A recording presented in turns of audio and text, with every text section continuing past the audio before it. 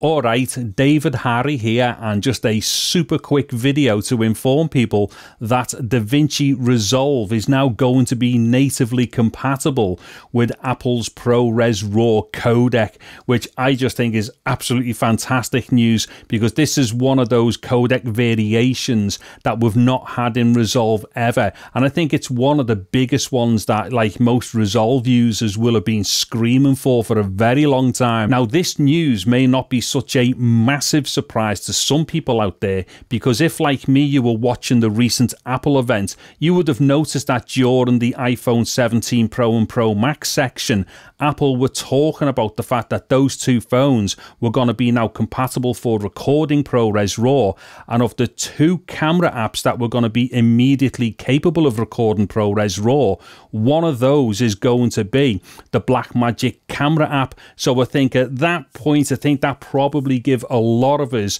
some really good hope that the next thing we were going to find out was then that the ProRes RAW codec was going to be supported within Resolve, which it is. Anyways, like I said, this was just going to be a very quick video just to inform people of this one cool thing, or at least I think it's a really cool thing. And this applies to the new version of 20.2 for DaVinci Resolve. That is both for the free version and also the studio version. There'll be links in the video description below taking you to where you can go and do the downloads or the updates and stuff. And on top of that as well, yes, I will be buying one of the new iPhone 17 Pros or Pro Maxes. Not too sure which one. So I'm going to do some videos on using the ProRes RAW codec uh, with inside of the DaVinci Resolve uh, workflow with my Macs and stuff. Anyways, I'm David Harry. Thank you very much for watching this video. Take care and goodbye now.